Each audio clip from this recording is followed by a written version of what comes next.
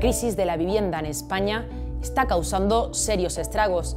La especulación inmobiliaria, impulsada por la voracidad de los fondos buitres, ha desatado una ola de gentrificación que está transformando nuestros barrios. Los alquileres suben de manera vertiginosa, forzando a miles de familias a abandonar sus hogares. Los desahucios se han convertido en una triste constante, dejando a miles de personas en la calle. Pero, ¿por qué está pasando esto? ¿Cuáles son sus causas? Y, sobre todo, ¿qué podemos hacer para frenarlo? En este reportaje exploraremos la interconexión entre estos fenómenos, desentrañando cómo la búsqueda de beneficios desmedidos está destruyendo el tejido social de nuestras comunidades. Vamos primero con las cifras. Según datos del Consejo General del Poder Judicial, 7 de cada 10 desalojos entre enero y marzo de este año se derivaron del precio del alquiler, es decir, que el 73,1% de todos los desahucios registrados en el primer trimestre fueron de hogares de inquilinos que no pudieron pagar el alquiler.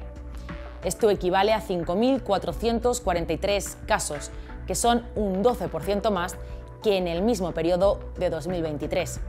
Cataluña, con un total de 1.870, es la comunidad autónoma en la que se practicaron el mayor número de desahucios. En el caso de los jóvenes, la subida del precio de la vivienda está retrasando la edad de emancipación. Según un estudio de la Universidad Pompeu Fabra, solo el 15,9% de los chicos y chicas de entre 16 y 29 años han logrado emanciparse. 7,3 puntos menos que hace una década. La edad media a la que se van de casa supera los 30 años, una edad muy por encima de nuestros vecinos europeos.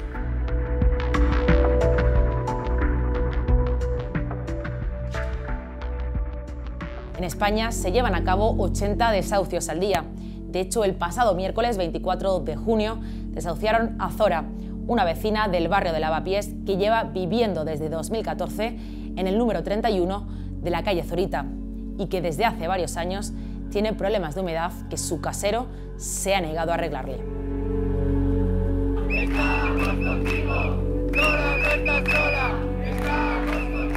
Estaba muy mal, muy mal. Toda muchísima humedad. Yo, el niño, está muy mal, no podemos respirar porque el viento por mi cor. Ya estaba cuatro años eh, sufriendo, luchando.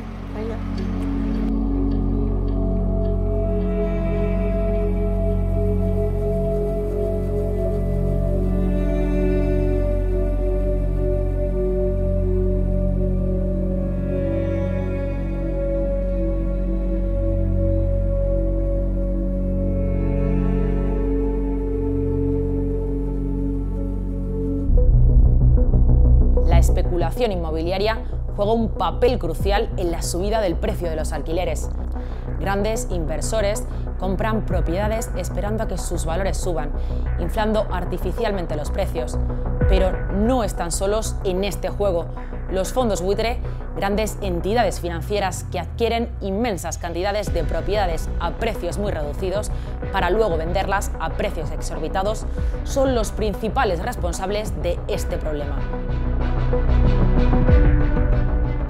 Pasado mes de marzo, los alquileres alcanzaron su máximo histórico. El precio medio del metro cuadrado en España se situaba en unos 13 euros.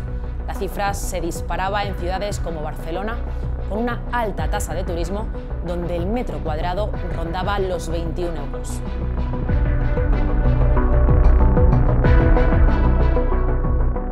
El precio de los alquileres ha subido más del 66% en los últimos 10 años, mientras que los sueldos solo han aumentado un 3,4% en todo este tiempo.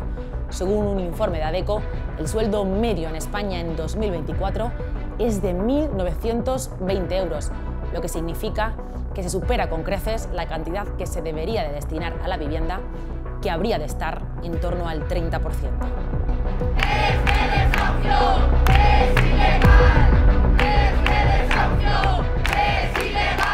Eh, expulsar a las vecinas que viven ahí para duplicar los precios, triplicarlos, convertirlos en pisos turísticos y generar que este barrio y toda Madrid siga siendo un parque temático a disposición de turistas, de fondos de inversión y de especuladores. Y nosotras desde el Sindicato Inquilina lo que estamos haciendo es defender, crear herramientas y eh, apostar por una organización de base fuerte que defienda a estas personas y que cree algo porque al final sabemos que desde arriba y desde las instituciones están del lado de los especuladores para pues para que este sitio se convierta en un sitio en el que no podamos vivir y rompiendo familias, generando ruptura de comunidades, de lazos.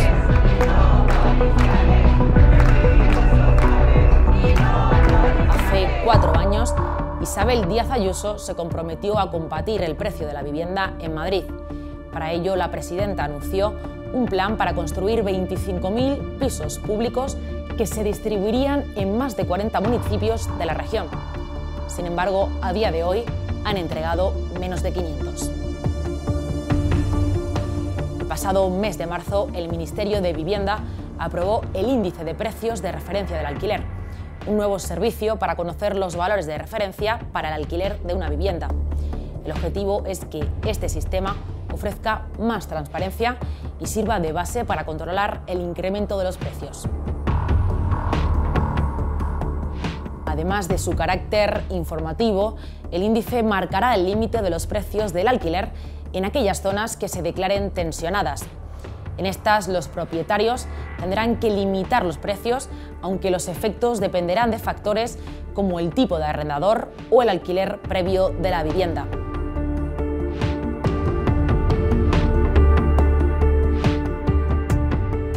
Ejemplo, en nuevos contratos firmados en zonas tensionadas, si el arrendador es un gran propietario, el precio del alquiler no podrá superar el máximo contemplado en el índice de referencia.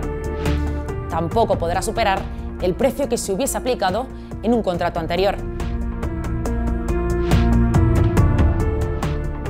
El mercado del alquiler en estos momentos en Madrid es inaccesible para la mayor parte de las familias. Nadie podemos pagar un 50 o un 60% de nuestros ingresos en alquiler.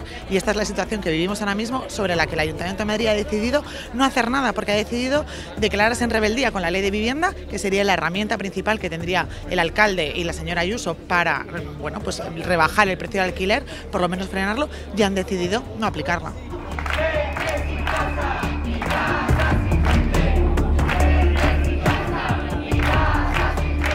Para revertir esta tendencia al alza en el precio de la vivienda es crucial seguir implementando políticas de control de alquileres para limitar los aumentos desmedidos y proteger a los inquilinos.